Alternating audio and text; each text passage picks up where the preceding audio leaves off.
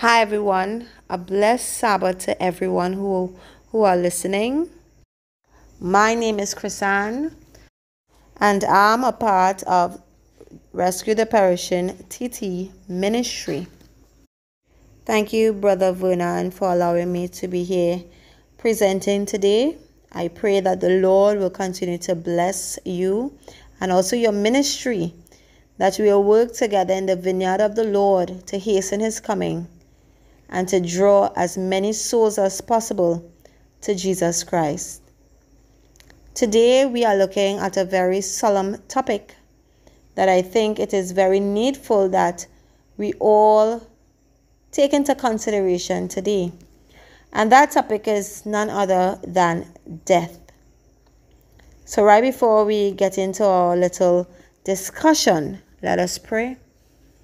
Heavenly Father, we thank you for the love, mercy, and grace over our lives. Every opportunity, Father Lord, we can say thank you. I pray, God, that we will grab that opportunity. We lift and exalt your holy name today, and I pray that even as I speak, let not the words that I speak be mine, but let it be straight from your throne, that it will touch the hearts of someone who are listening. Continue to be with this ministry, Lord Jesus. I pray that you may continue to bless Brother Vernon with wisdom, understanding, and knowledge from on high, that we will do what you are calling us to do, and that we will labor faithfully till you shall come and take us home. In Jesus' name we pray. Amen. So today our scripture scripture reading is taken from Hebrews chapter 9 verse 27. That's Hebrew chapter 9 verse 27. And the word of the Lord says, And as it is appointed unto men once to die, but after this, the judgment. You know, friends, recently I passed by uh, a cemetery. And I looked at a plaque that was at the top of the grave bed that read or that read rather in memory of. And I, I thought about it in memory of and the person name and I thought about it and say if we was to die at this very moment, would we leave a good memory behind? Is the life that we are living will prove that it would be written upon our gravestone if we should die? Would it be rightfully read in memory of? Brethren, we are living in a time that we really need to consider Hebrews 9:27 because it is saying to us it is appointed unto men human beings once to die. But it is not really the dying that it is the big issue but it's what comes after. After death will come the judgment. I remember losing my father at the age of 14. It was like hearing he was sick with cancer, and then hearing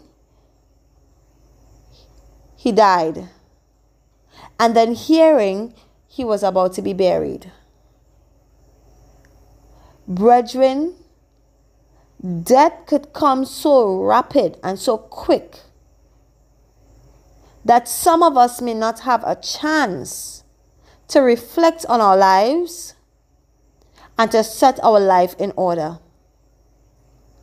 So, because we know that death could come at any time, what are we ought to be doing presently? What are we ought to be doing now? I want to believe that what we ought to be doing now is reflected in 2 Kings chapter 20 verse 1. It says, In those days was Hezekiah sick unto death. And the prophet Isaiah the son of Amoz came to him and said unto him, Thus saith the Lord, Set thine house in order, for thou shalt die and not live. We ought to be setting our house in order, brethren. And this has dual application. Our house, meaning our family, and also we are to be setting our hearts in order to receive or to meet Christ. I believe that we are living in a time, brethren, that it is no time to be playing with our soul salvation. We do not know what time, the day, the hour, the minute we can die. And because we do not know, it is not revealed unto us. We ought to be setting our lives in order. There are many things in our character that ought not to be there. And God, in His love and His mercy, will make that known unto us. And as fast as it is made known unto us, we ought to be setting it in order and getting rid of it in our character. So God sent his prophet to tell Hezekiah that you are about to die. I remember reading in the spirit of prophecy and she was actually speaking to her brother. And the conversation went something like this, and she was asking, If you would know if Christ would have come in two years or three years, would you live differently? And the brother said, Yes. He may do things differently if he know Christ would have come like in 12 months or in six months, and we are placed in a situation such as this, we think that we have time. So, because we think that we have time, we are living differently to how God wants us to live. But, brethren, time is upon us. And we do not know when we are about to die. And because this is hidden from us, brethren, we ought to live differently every day. We ought to be surrendering our heart to Christ. We ought to be searching our lives to make sure that it is resembling Jesus. We are to be asking the Lord to give us strength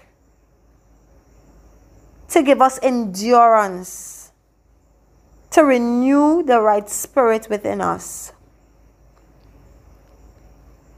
Brethren, time is upon us.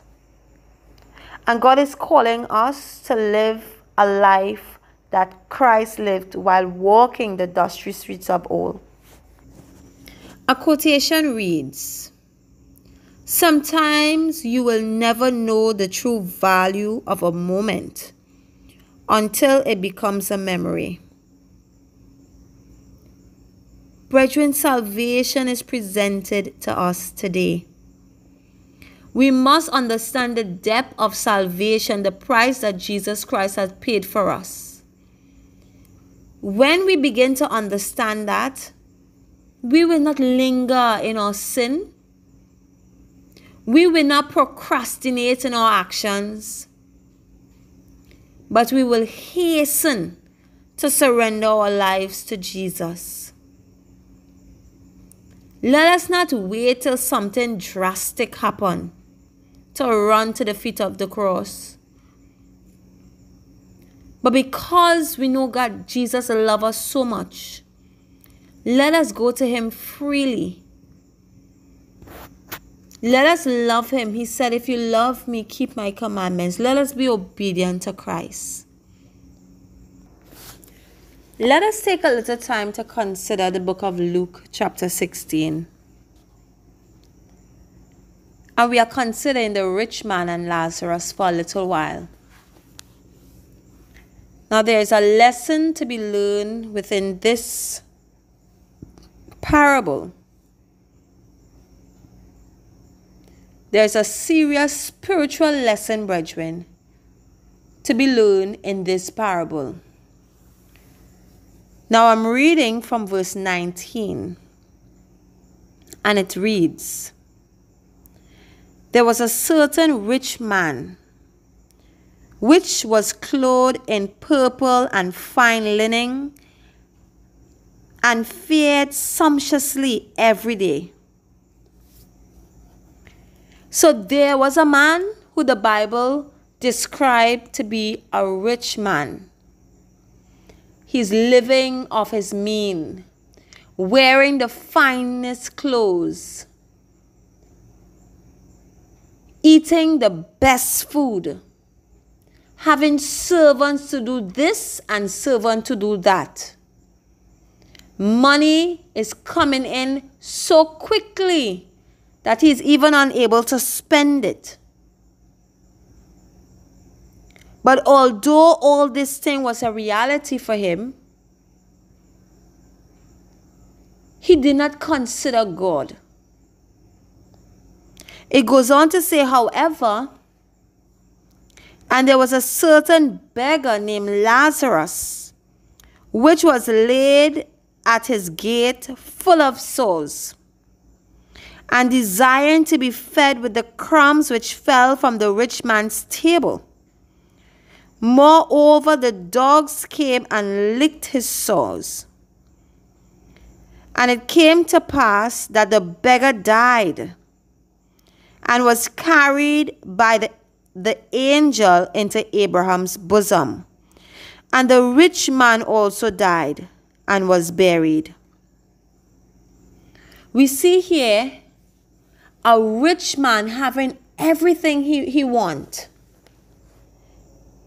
but yet still he died and left everything behind. And there was Lazarus, a poor man, who depend upon God daily for his bread. He too also died.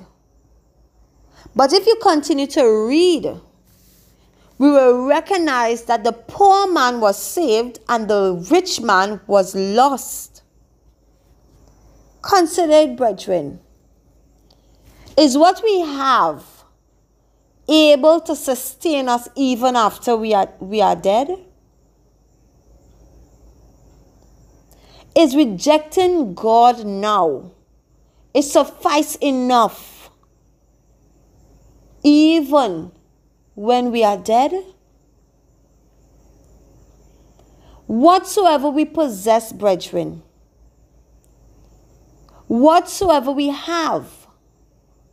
It makes no sense having if we do not have Jesus. Because when the time of death comes, it will be none and void. Because all our possessions, all our riches, everything that we have cannot save us when we die. will in memory of be associated to you if you should die? Or would you be forgotten because we did not live a life pleasing to God? So, although Lazarus was poor, had nothing, his heart was right with God.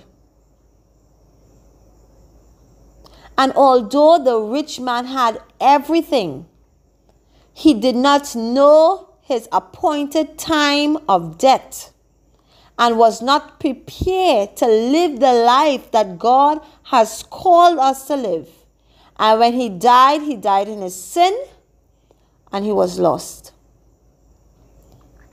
I heard my friend told me that someone told her that next year they will give their heart to Jesus. They will change their life. And my response to that was, is he certain that he will live to see next year? Because that's a very brave and wide claim to make. We do not know how long we have to live. So, with every breath that we take, brethren, we need to take it with the assurance to know that it is the grace of God that have us alive. And because it is the grace of God that have us alive, we will live to please Him every minute, every hour, every second of our lives. But let us take in consideration something that happened. Because within the 16th chapter of Luke, within that story, the rich man and Lazarus, we see there that the rich man went to hell and Lazarus went to heaven in the bosom of Abraham. And then, after being tormented, he couldn't even cool his tongue. He said something very, very important. He said in verse 25, But Abraham said, Son, remember that thou in thy lifetime receivest thy good things, and likewise Lazarus evil things. But now he is comforted, and thou art tormented. He said in his lifetime, the rich man received good things because the rich man exchanged salvation for what, that which is temporary. And now, because he exchanged his salvation for thing that perishes, he too perished when that time came. And then that rich man said something very, very important. 27 it says, Then he said, I pray thee, therefore, Father, that thou wouldest send him to my father's house. For I have five brethren, that he may testify unto them, lest they also come into this place of torment. Brethren, God has something prepared for us. But if we exchange that with what this world give us, we will receive damnation. Now, after exchanging his salvation to the things of this world, he wanted to warn his brethren because they themselves was going down the same path that he took. And he understood the end of it, so he wanted to warn them so that they would not there. But then Abraham said unto him, they have Moses and the prophet. We have the scripture, brethren, that when we read it, we will see the life that we have to live. They have Moses and the prophet. Let them hear them.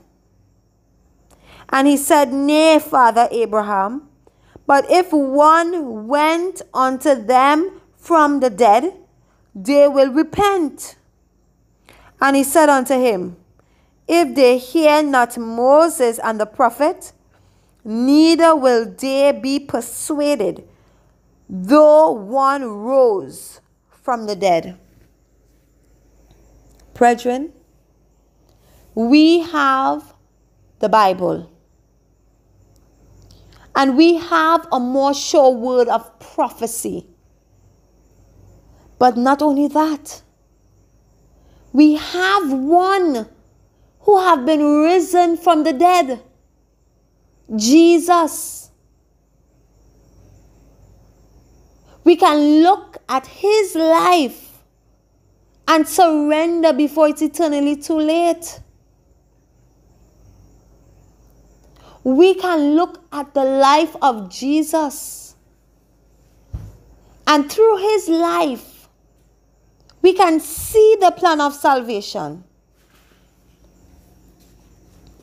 Brethren, if we look at Jesus and we are not persuaded, nothing else will persuade us. Time is running out on us. Time is running out. We see how COVID have this world, but yet still COVID is just the smoke before the fire. COVID is the calm before the storm. What are we waiting on to give our lives to Jesus? Are we waiting for something more drastic to take place? Are we waiting for our body to be inflicted with disease to, surrender? Are we waiting for us to be lying down on our bed and facing upward to give our lives to Jesus? Let everything that have breath praise the Lord, brethren. We have the breath of life in our nostrils. It is high time to come to Christ.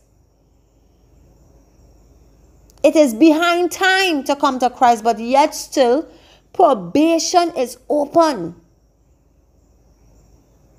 The ark door is open for us. All we need to do is to walk inside the ark, and that ark represents Jesus Christ. And we will be saved from the flood.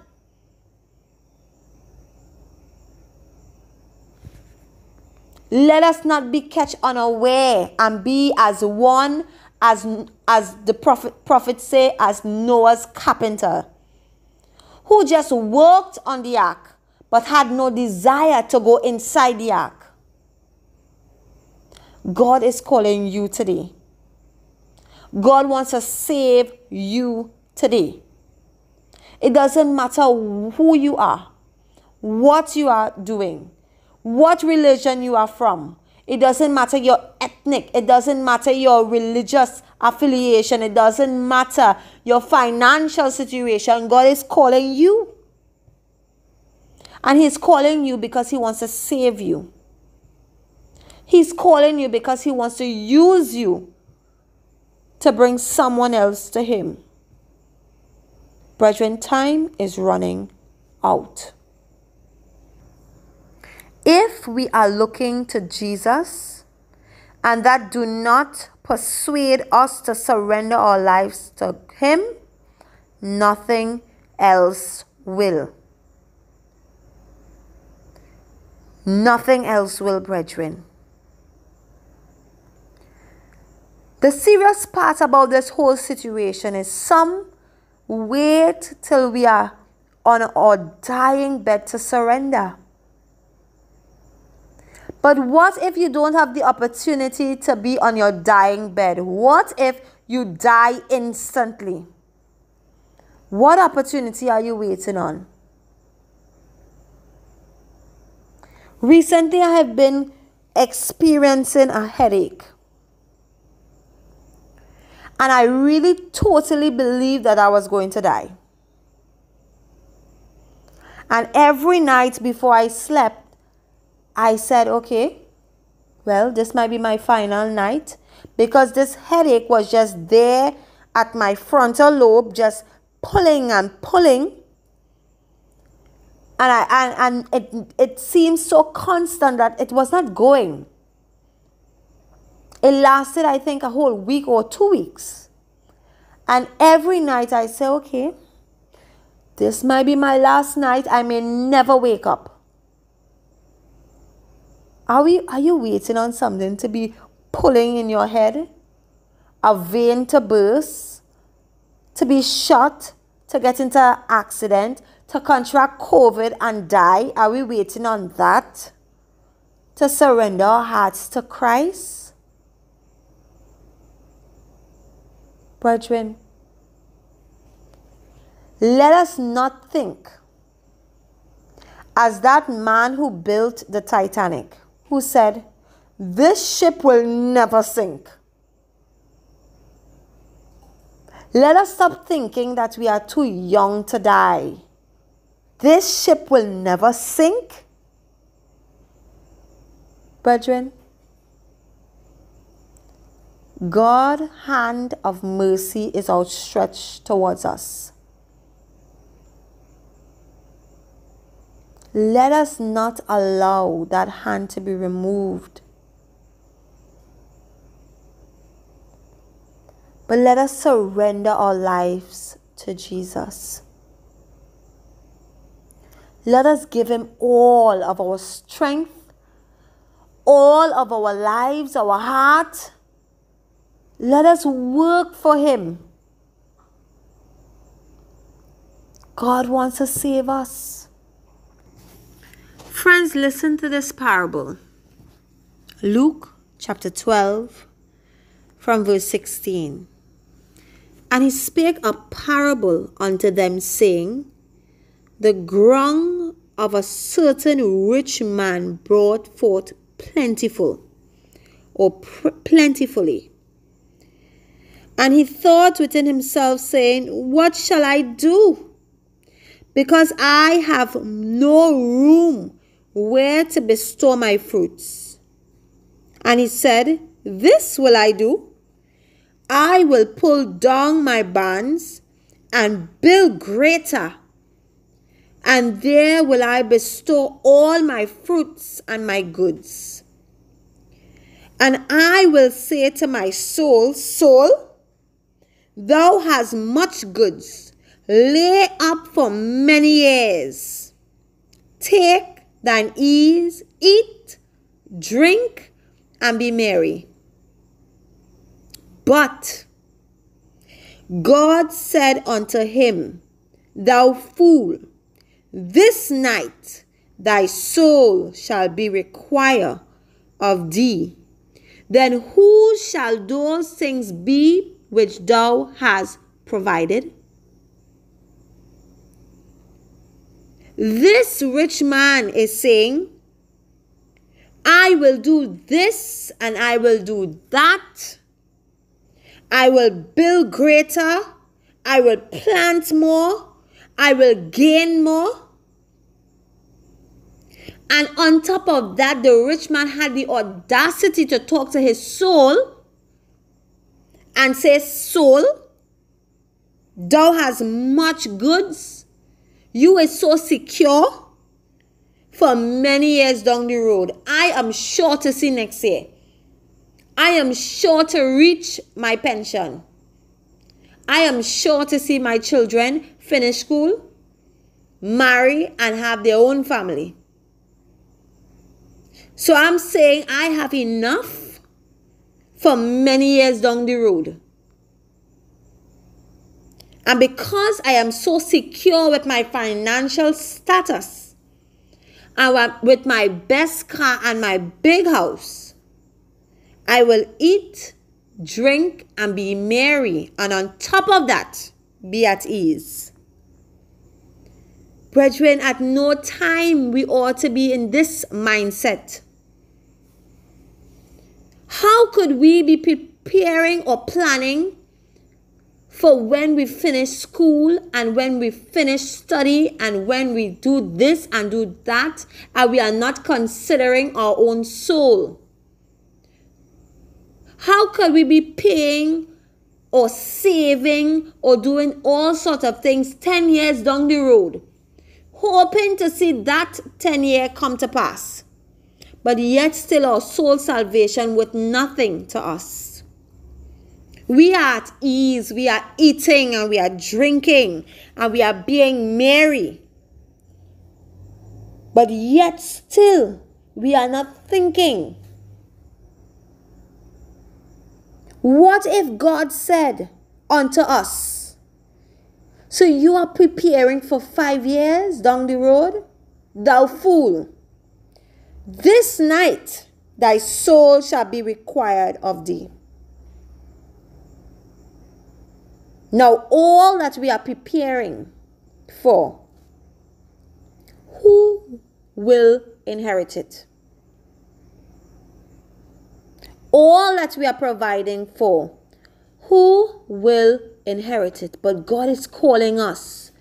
And He is telling us in verse 21 So it is He that laid up treasures for Himself and is not rich towards God but rather God is calling us to lay up treasures in heaven. God is telling us to seek ye first the kingdom of God and his righteousness, and all other things shall be added unto us. God is saying, Seek me first. So if we should die, we will be sleeping, awaiting the first resurrection. But if not, and we are seeking self first, sad be our portion, and the second resurrection we will hear our name. Time is upon us.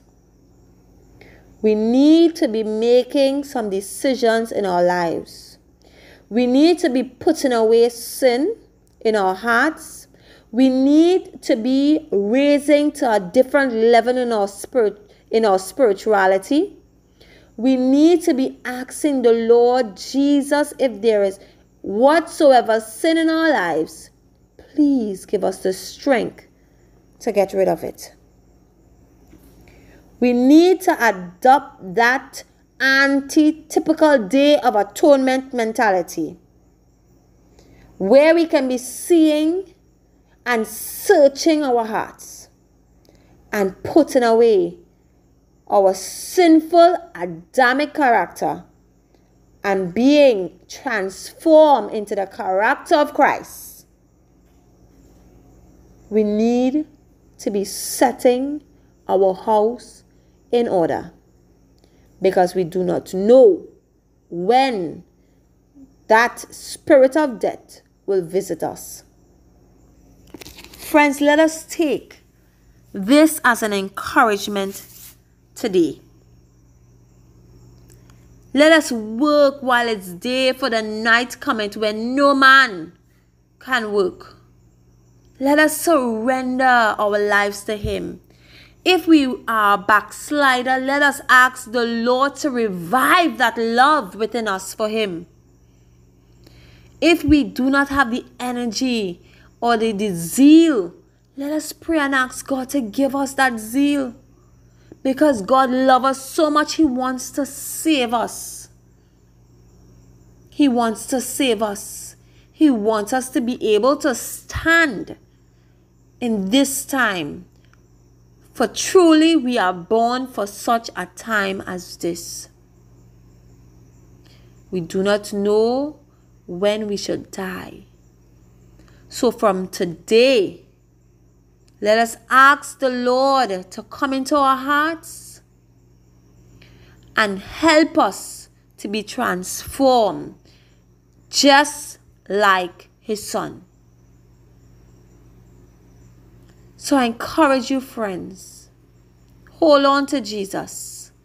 Step up on that ramp and get into the ark quickly before that door of mercy is shut.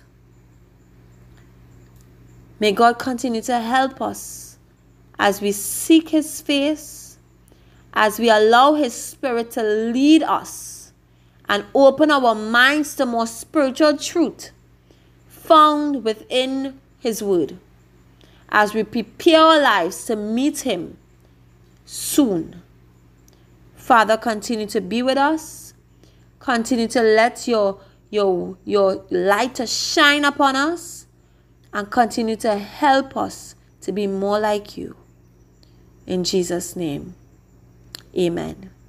God bless you all and have a wonderful day as we continue pressing on. God bless you.